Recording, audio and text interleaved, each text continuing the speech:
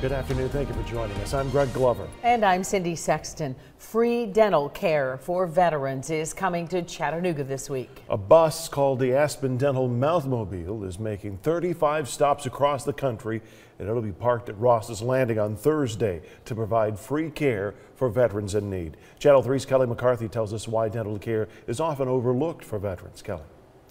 Greg, dental care for veterans is only covered by the Veterans Administration if they are 100% disabled. So many local veterans have to pay out of pocket for coverage or go without treatment. And it makes you more appreciative of what you have here. Leroy McDermott joined the Army when he was 19 years old. He served in the Vietnam War. I was in Korea for 13 months.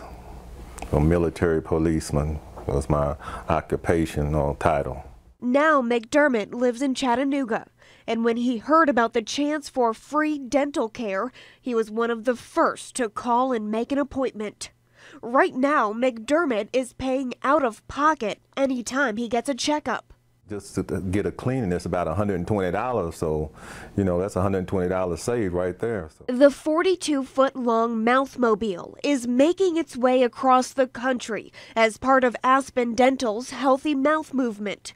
It will be posted up at Ross's Landing Thursday from 9 a.m. until 3 p.m. And there'll be three dental chairs, three dentists will be there, hygienists, everything that you can do in the dental office they'll be able to do right there.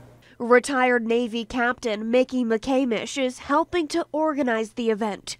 He says the goal is to treat at least 40 veterans, but there will be a waiting list to make sure as many as possible can get treated. This is just another way to say thanks to the veteran, veteran because they've, they've made the ultimate sacrifice. McDermott says he's looking forward to his chance to catch up on dental care, and he hopes other local veterans will get the help they need.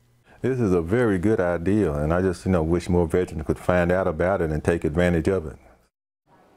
Veterans who want to make an appointment need to call 423-634-1771. So far, they've had an overwhelming response and there's only a few spots left. Live in the studio, Kelly McCarthy, Channel 3 Eyewitness News.